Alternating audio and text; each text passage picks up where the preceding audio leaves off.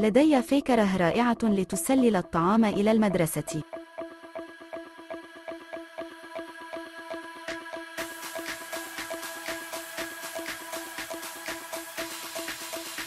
هل عندك طعام؟ لا.